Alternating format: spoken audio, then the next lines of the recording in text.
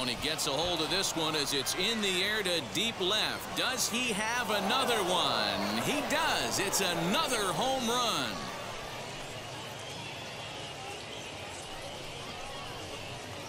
So a three-run blast to straightaway left, his second of the game. And just like that, it's now a 5-2 ball game.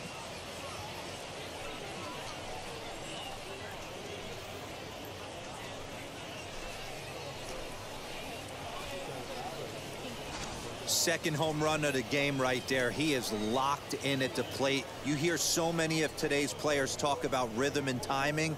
Well, he is perfectly on time in the heart of the zone.